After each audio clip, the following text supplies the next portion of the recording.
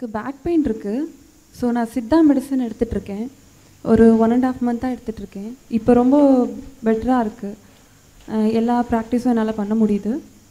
ஆனால் இந்த சித்தா மெடிசனில் ஏதோ மெட்டல் கலக்கிறதா சொல்கிறாங்க அலோபதிக்கும் ஆயுர்வேதா இதெல்லாம் கம்பேர் பண்ணும்போது இந்த சித்தா மெடிசன் என்ன மாதிரி நம்ம உடம்புல தாக்கம் செய்யுது? Essentially, the difference between Ayurveda and Siddha and allopathy is just this. Allopathy is purely chemicals, chemical manipulation of the system. When it's an emergency, you must use it.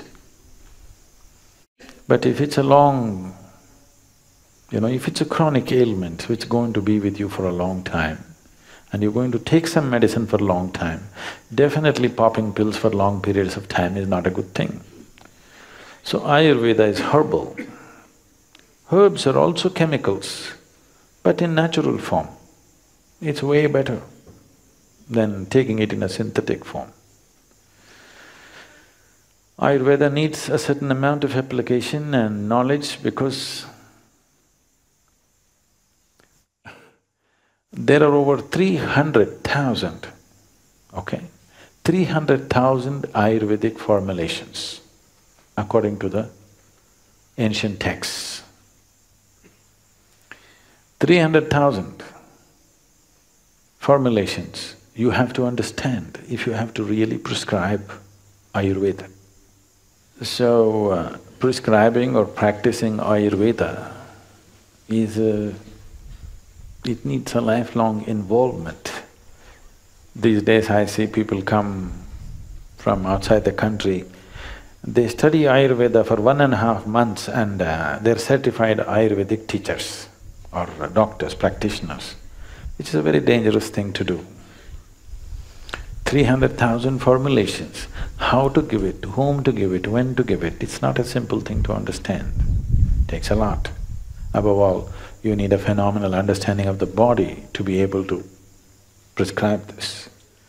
Siddha is very different in the sense, Siddha is essentially elemental in nature. There's… there are herbs, but essentially it's elemental in nature. It comes more from the yogic science because the fundamental of yogic science is in bhuta shuddhi or in cleansing of one's elements. This is an evolution from the yogic science and Siddha Vaidya was essentially formulated by Agastya Muni and they say Adiyogi himself practiced it and Agastya brought it to the south and only in the south it lived, nowhere else. And it's elemental in nature, which uh, which needs less study but more internal mastery for the person who practices it, which is again a problem today. We hope these young people who are uh, starting their sadhana at the age of six and they're going to be in sadhana throughout their growing period, these kind of people can take to Siddha very effortlessly because the necessary sadhana is there within them. Siddha Vaidya cannot happen without sadhana. Today they have set up colleges for Siddha Vaidya, which uh, it will not work like that. They're picking up bits and pieces from the text and trying to practice that. Quackery, Siddha quackery is happening. Siddha Vaidya is not happening because Siddha Vaidya has to be practiced by a Siddha. It is a Siddha who can practice Siddha Vaidya. Siddha means an established one, one who is firmly established within himself because it's elemental in nature. Because it's elemental, it's not really a medicine as such. You are uh, dealing with the fundamental material which makes the body. You're not trying to infuse some other medicine into it. So usage of metals is very much prevalent in uh, Siddha. I know the Western medicine will immediately brand it as nonsense, but in Siddha, all the things that you consider as poisonous are used as a part of their medicine. Nine deadly poisons, you've heard of Navapashana. All the nine deadly poisons are used as medicine. Lead is very frequently used, mercury is regularly used. Rasa Vaidya is very much part of Siddha Vaidya. And for those of you who are calling for God's help, When I mention the word mercury, mercury is not poisonous. It is just with mercury oxides, people have poisoned water. It is irresponsible usage in the industry which has done this.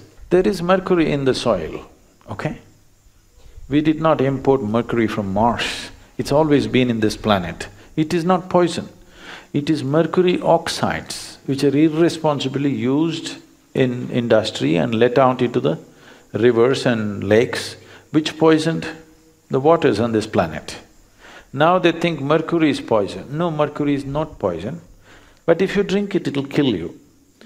Not… not because you can absorb it as poison. It is because of its sheer weight. If you put it into the stomach, it will not go through the pipe, it will just drip through the stomach because of its sheer weight. Because its specific gravity is almost fourteen times uh, that of water. Because of that, because of sheer weight, if you place it in your hand, it just goes into your hand through the pores. Similarly, if you put it into the stomach, it'll go through the stomach, it'll not go through the intestine. Because of that, it may kill you, because it bores holes. Not because it's acidic, simply because of sheer weight.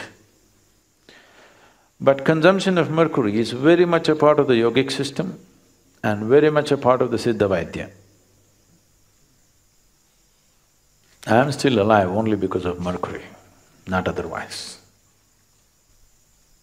So, Siddha is a very completely different kind of medicine system than anything that you will find on the planet, but it needs a Siddha to give Siddha medicine.